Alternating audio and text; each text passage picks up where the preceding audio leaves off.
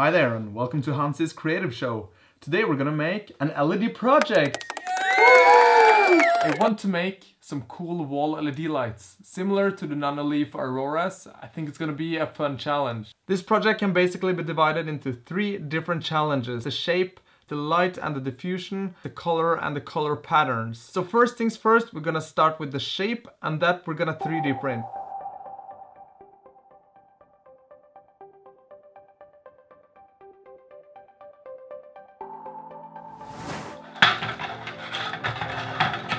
I printed eight of these over the course of several days. And before I do anything more to them, I'm just gonna use some spray paint to give them a different color, or the same color actually.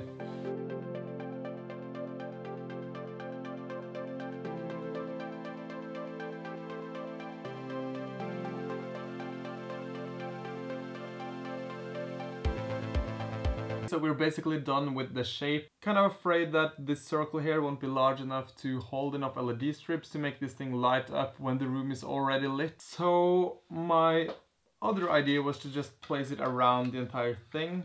The problem then is that the cable in the middle will maybe obstruct the light and create a shadow of a cable. Hmm, I'm not quite sure, but I did buy some diffusers, so before we cut them, we can just put the diffusers on top and test everything and see see what we get. Get.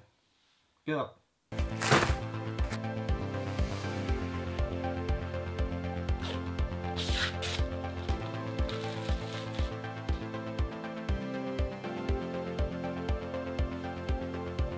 That looks pretty great actually. Okay, so at full white brightness we are at 0.6 amps. If we multiply that by 10 we will have 6 amps. That's on 12 volts. Now I know how to proceed, so I'm just gonna remove the circles of all the shapes, cut the LED strips, solder on the connectors, and then we can begin to add the diffusers on top. So let's go!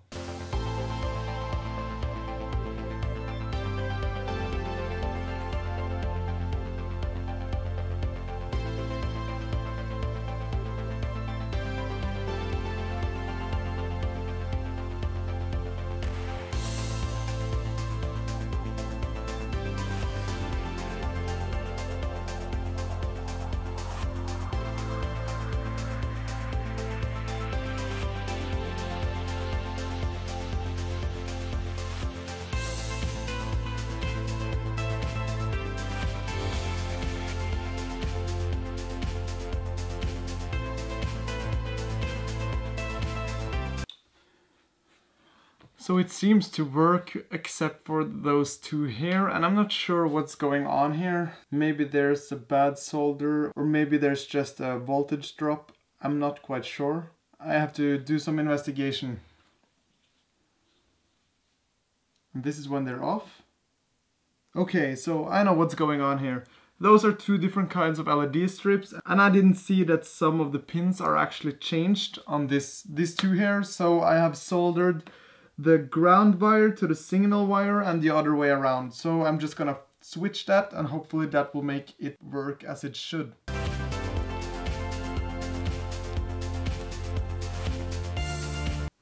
Hmm. I couldn't quite figure out what was wrong, so I'm just gonna replace the two LED strips.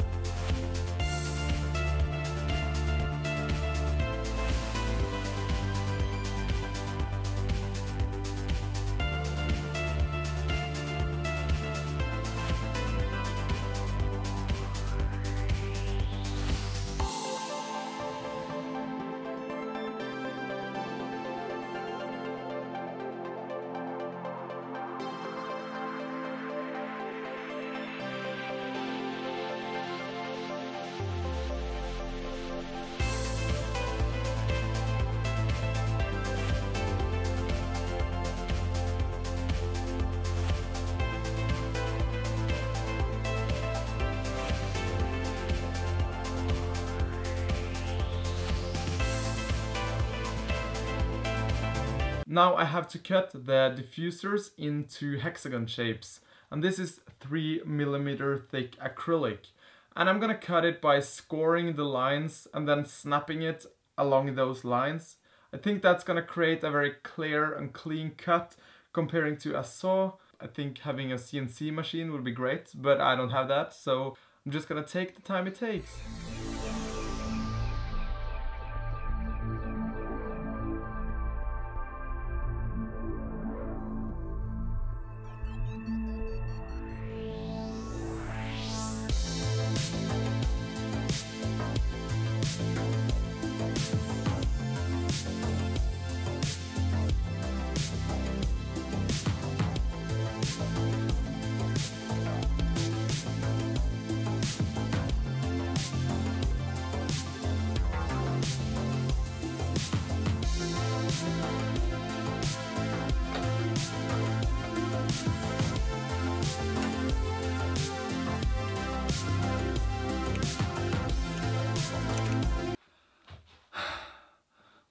That only took a day. At least now I'm done and I can focus on gluing them on and then I can do the light and the electronics. To glue them on I'm just gonna use some normal super glue to get it to stick right but also if I need to I will be able to take them off. I think that's kinda nice.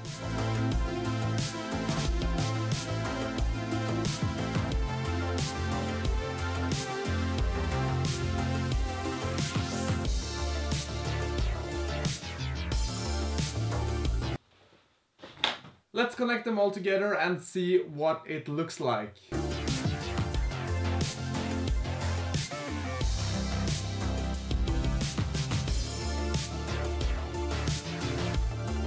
I think it looks pretty nice. I like the shapes, I like the clean cuts. Everything looks great except for the light itself.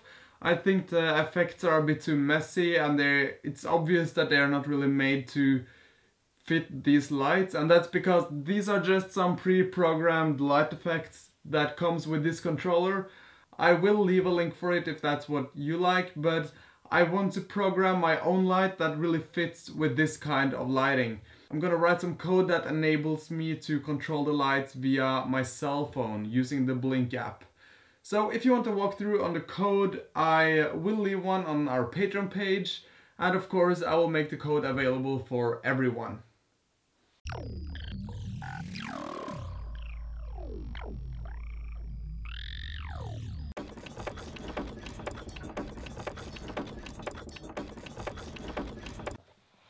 So what I did was I 3D printed this box and put all the electronics on the inside of it. It's basically just an ESP32, but I had to attach a voltage step down and a logic level shift to be able to control the LED strips with the ESP32. And now that everything physical is done. I just have to write the code to create some cool light effects and to be able to control it with my phone.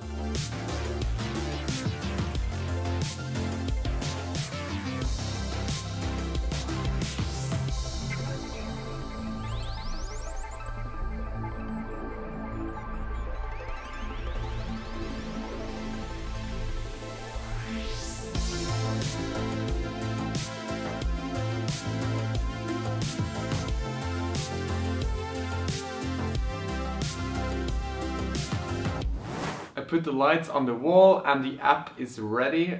As I said, I made it using Blynk and I added a couple of features so that the lights can fade between different colors independently of each other.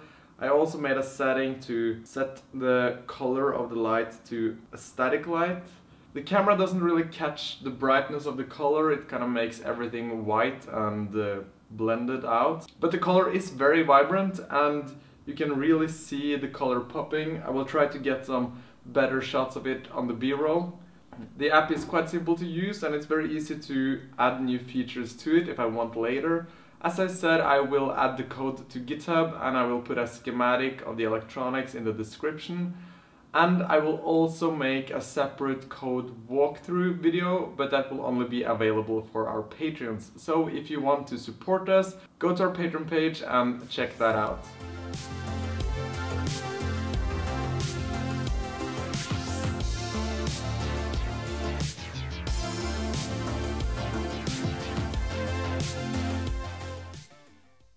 I really loved making this project and I think the result is one of my favorites so far. Thank you so much for watching and I'll hopefully see you soon in a new project.